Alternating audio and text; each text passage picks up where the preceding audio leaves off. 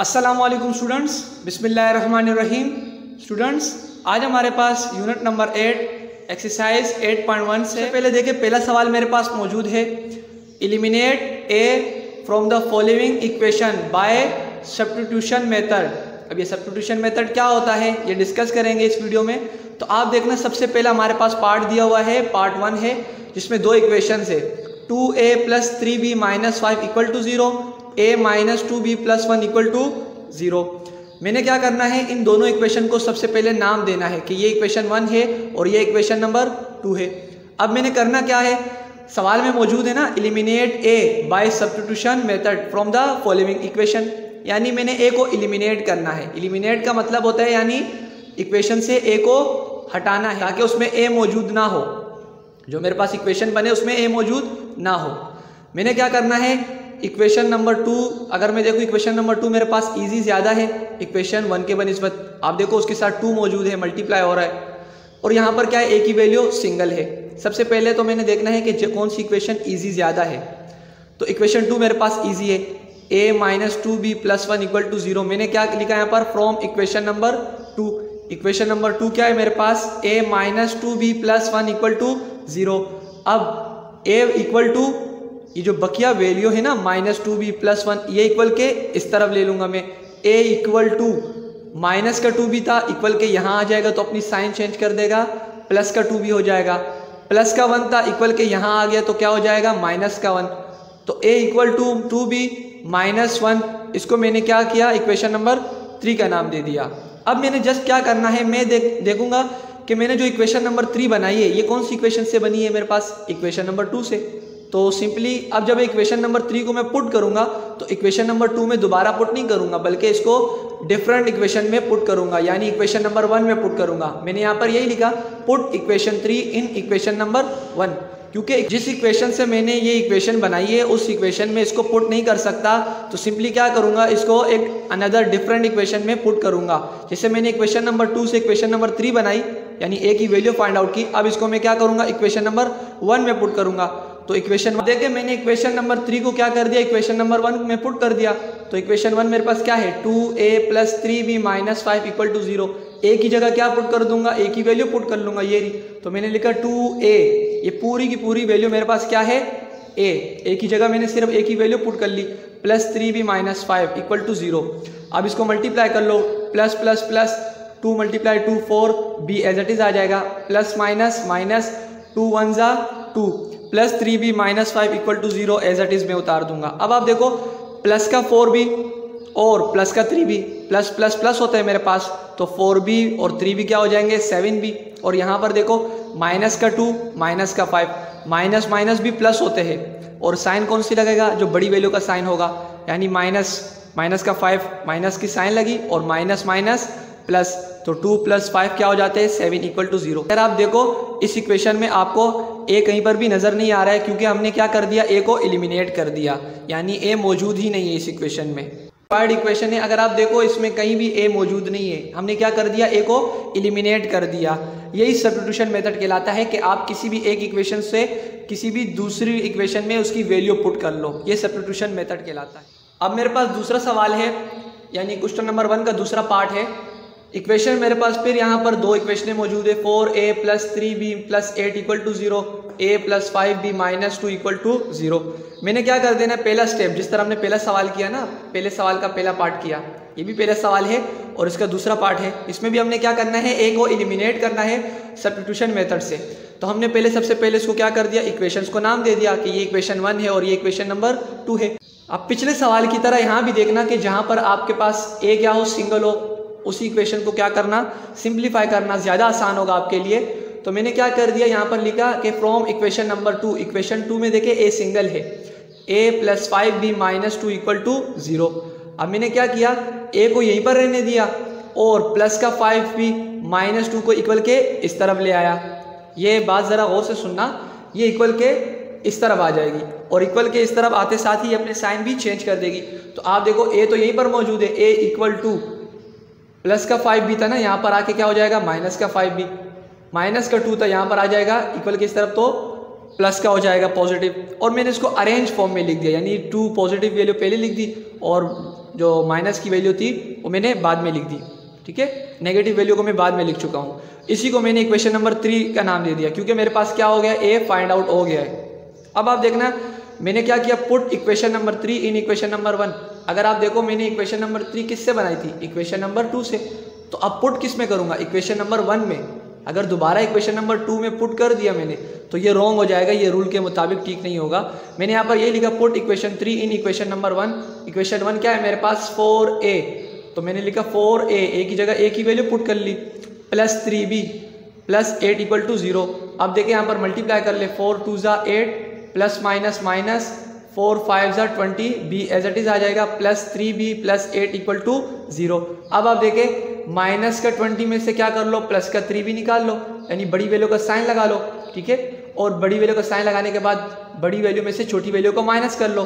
Twenty में से क्या कर लिया मैंने? थ्री माइनस कर लिया तो क्या आ गया मेरे पास? सेवेंटी, और बी एज इट इज़ यहाँ देखो, ये भी प्लस का है और ये भी प्लस का है। प्लस प्लस प्लस तो एट प्लस एटीन हो जाता है। ये मेरी रिक्वायर्ड इक्वेशन है।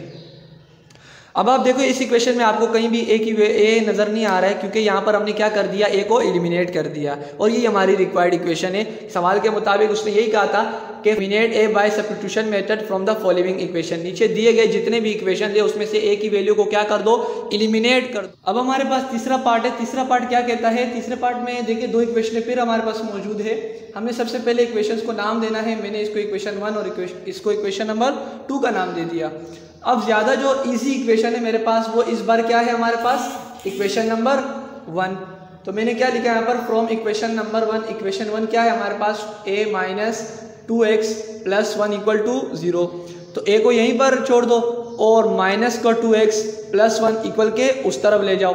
जब आप इक्वल के इस तरफ़ ले आओगे इसको तो ये माइनस का टू एक्स पॉजिटिव हो जाएगा और ये प्लस का वन क्या हो जाएगा? नेगेटिव हो जाएगा। ये क्या हो जाएगा आपके पास? इक्वेशन नंबर थ्री ये आपके पास क्या हो जाएगा? इक्वेशन नंबर थ्री हो जाएगा। क्या आपने क्या कर दिया? एक ही वैल्यू को फाइंड आउट कर लिया। अब आप क्या करोगे?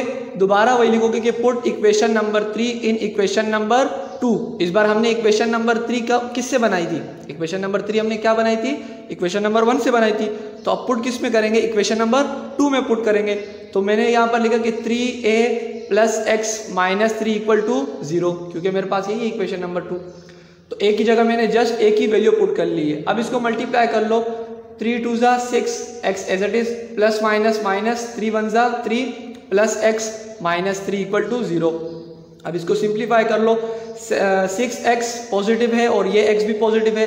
प्लस प्लस प्लस तो सिक्स और वन क्या हो गए? सेवन एक्स और यहाँ पर देखना बड़ी वैल्यू कोई भी नहीं है। जब सेम वैल्यूज़ होती है तो किसी भी वैल्यू का साइन लगा लो और देखना माइनस माइनस प्लस तो three plus three six equal to zero ये मेरे पास रिक्वायर्ड इक्वेशन आ गई है, जिसमें मेरे पास ए मौजूद नहीं है। एलिमिनेट हो चुका है ए चौथा सवाल है और चौथे सवाल में मेरे पास फिर दो इक्वेशन हैं। दो इक्वेशंस को नाम दे देने सबसे पहले।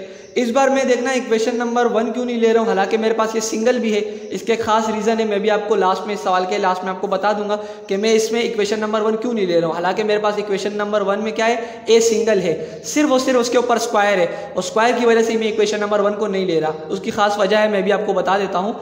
सबसे पहले आपने इक्वेशन नंबर टू ली। फ्रॉम इक्वेशन नंबर टू क्या है?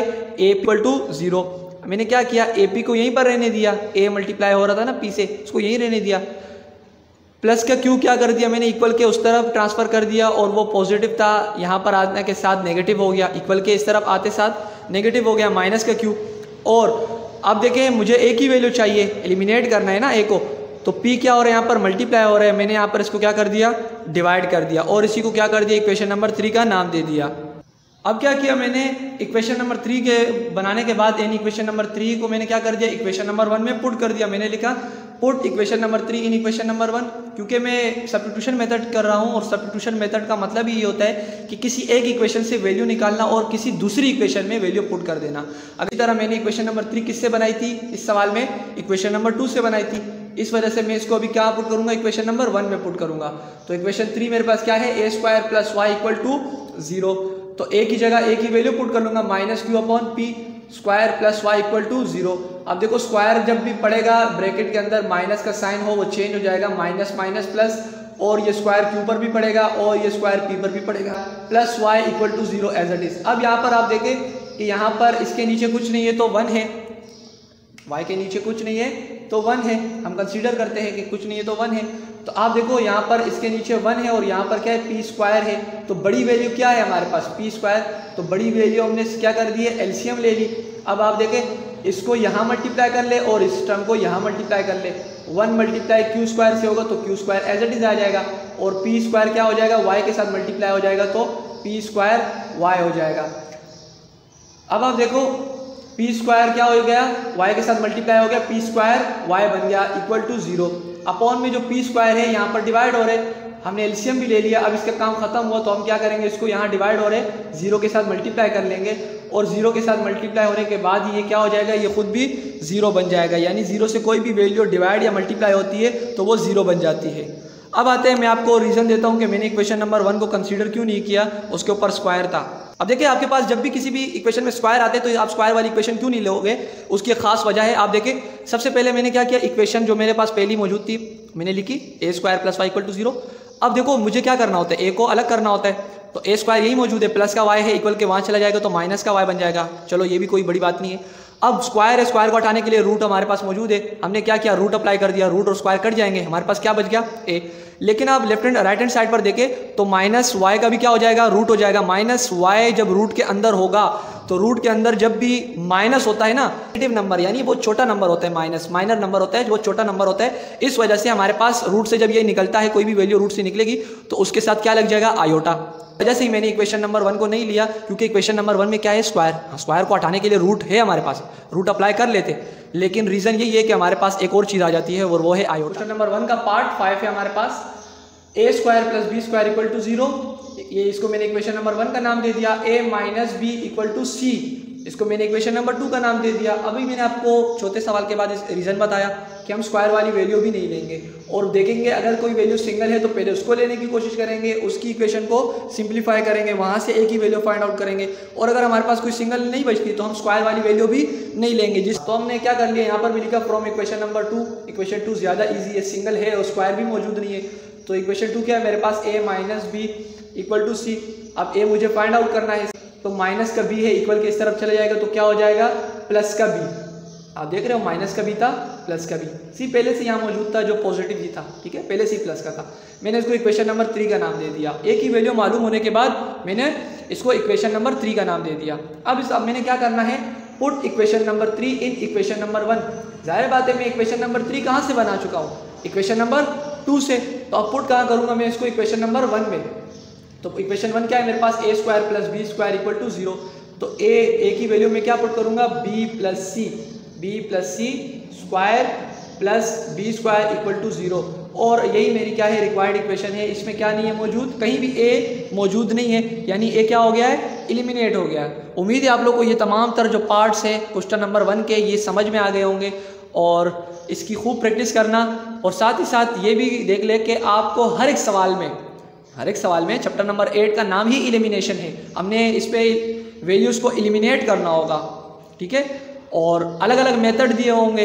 यानी अगर सब्सटीट्यूशन मेथड है तो सब्सटीट्यूशन मेथड आप सीख चुके हो कि सब्सटीट्यूशन मेथड का मतलब है किसी भी एक इक्वेशन से वैल्यू निकालना और किसी दूसरी इक्वेशन में उस वैल्यू को क्या कर देना पुट कर देना, ये सब्सटीट्यूशन मेथड कहलाता है।